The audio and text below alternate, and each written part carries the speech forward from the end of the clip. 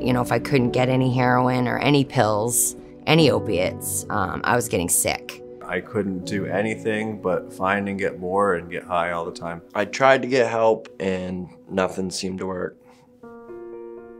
Then I found groups. Groups recover together. When I took Suboxone, I felt just like able to function, no sickness, no, you know, anxious feeling out of your, you know, crawling out of your skin.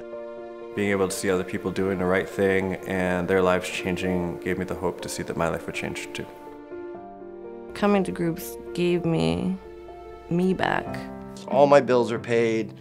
I have a nice car sitting out front. I don't feel like relapse is part of my equation anymore. I've, I've won, you know what I mean? I'm, I've won the battle of recovery. Let's give groups a chance. Call groups recover together.